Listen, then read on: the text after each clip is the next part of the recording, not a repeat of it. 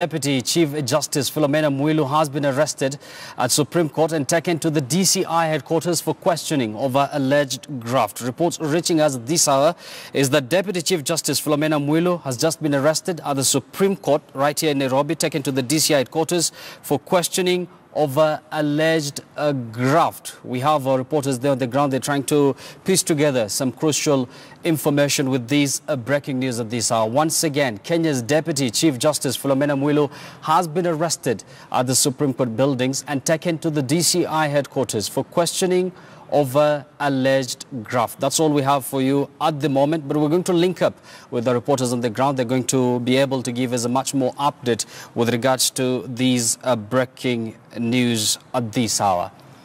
Now, over to